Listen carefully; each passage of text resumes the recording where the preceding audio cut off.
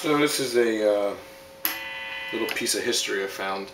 It's a uh, 71 or 72 Gibson SG Pro. it's got uh, P90 pickups. Um, there are no pickup covers. I actually ordered them today. Um, like to make this guitar look a little decent. It's also missing the pick guard.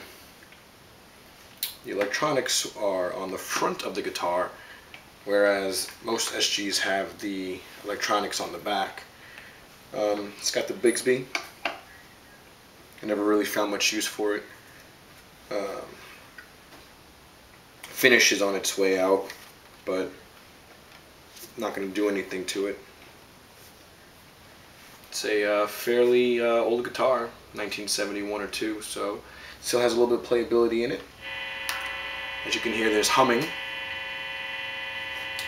Guitar goes out of tune fairly quickly also. I need to figure out a way to uh, fix these tuners. I don't want to take the original tuners off. But, um,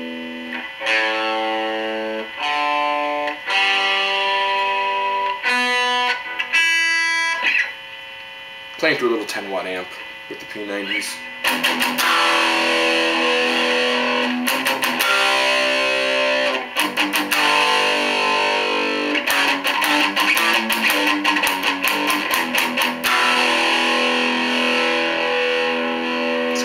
Sound to it. Nothing I would play with now.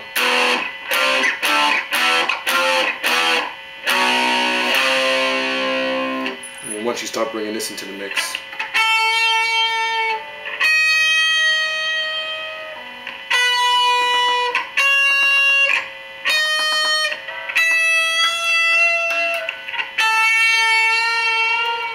then once I go back and try and tune it up, it's very well off out of tune.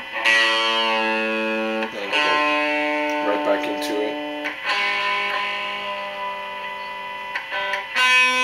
So I guess we'll keep this as a uh, as more of a uh, piece of American history that you take out every once in a while for a conversation piece.